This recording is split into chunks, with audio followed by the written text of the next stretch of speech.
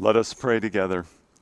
Gracious God, we do not live by bread alone, but by every word that comes from you. So make us hungry for this heavenly food, that it may nourish us today in the ways of eternal life. Through Jesus Christ, the bread of heaven, we pray. Amen. Paul gives good advice on how to live in our relationships with one another to make sure that they remain healthy and caring and mutual.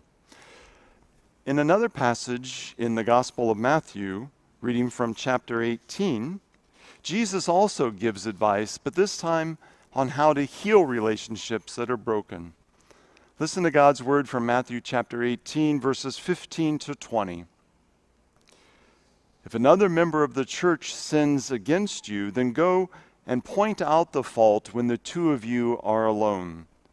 If the member listens to you, then you have regained that one.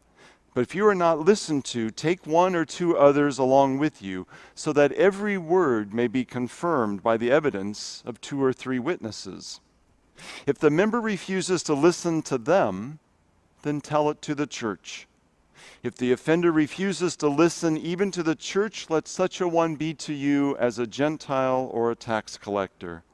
Truly I tell you, whatever you bind on earth will be bound in heaven, and whatever you loose on earth will be loosed in heaven. And again, truly I say to you, if two of you agree on earth about anything that you ask, it will be done for you by my Father in heaven.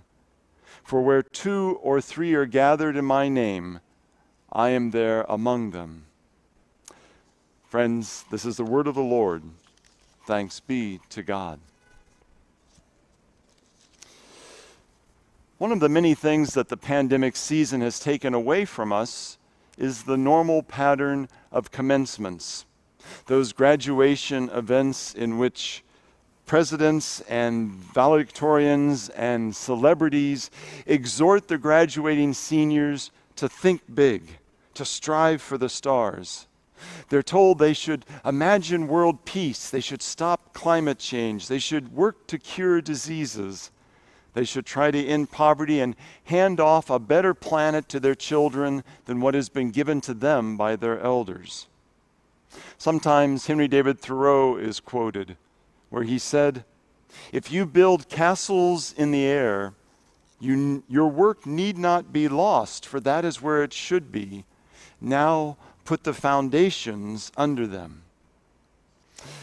Graduation speeches encourage us to dream, to strive for goals, to practice the art of thinking big. But there's also an art of thinking small.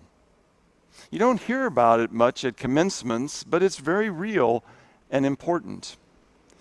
Thinking small is the art of paying attention to small details, of honoring even minor obligations, and working to keep all of our promises.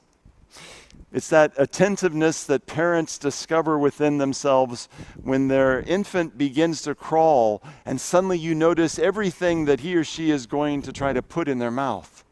Or when you bring a new puppy home and you watch the dog from a distance and constantly have to ask yourself, what is that dog chewing on now? It's the art of counting out exact change to give to a cashier. It's using a little tiny screwdriver to fix the loose screw on your eye frame, eyeglass frames. It's taking time to listen to every word a child says to you, to listen when your parents are asking something of you, or to take time to hear the questions posed to you by strangers you might meet on the street. The art of thinking small, I read somewhere famous, is like when a shepherd leaves a larger group of 99 sheep in order to find the one lamb that's gone astray. It's like that tiny mustard seed that's put in the soil, but in time it becomes a bush large enough for birds to build their nests within it. Jesus Christ actually talked a lot about the art of thinking small. And he sometimes did it in surprising ways in passages that never used the word small at all. Like in the passage we heard from Matthew chapter 18. On the surface, the verses I read from the gospel sound less like scripture and actually sound more like something you might read in one of those human resource manuals at a big company. Because the passage goes like this If someone sins against you, go and point out the fault when the two of you are alone. And if they listen to you, well, then you've regained a friend. If you're not listened to, well, then take one or two others with you so that every word can be confirmed by evidence. And if the person still refuses to listen, well, then tell it to the entire church. It's sad to imagine that church conflict is as old as the scriptures of the church, but then churches are made up of people, and people have always been prone to disagree with one another. Teddy Roosevelt's daughter Alice once famously said, If you can't say something nice about someone else, then come sit right next to me. To adapt another biblical metaphor, seeds of faith are planted and they, they take root inside a church. But sometime in those same gardens, those same churches, weeds of jealousy and disagreement and envy crowd in and suffocate the young seedling before they can bear fruit. So I want us to consider carefully Jesus' advice on conflict resolution and church conflict resolution. First, Jesus wants us to think small and keep conflict contained to the smallest appropriate group. If one person sins against you, then talk to that person when you're alone. Despite what Alice Roosevelt has said, we actually shouldn't spread gossip. We shouldn't tell others how we've been offended by that person's action in the hope to build a coalition around us who will stand beside us and affirm that we're the one that's been wronged. If a disagreement emerges, as far as it's possible, then find a way to keep a problem that's between two people to just between those two people. Find a time to talk face to face. Find a way to listen carefully. And above all, seek reconciliation. And that's actually the second important point that Jesus lifts up. The goal of this thinking small art of conflict resolution is that you are seeking reconciliation. It's not to prove that you were right and the other person was wrong. It's to do what you can to bring about restoration and healing it's to welcome the lost sheep back into the fold. It's opening the doors widely so whomever has felt ostracized or marginalized or pushed out can actually faithfully be welcomed back in.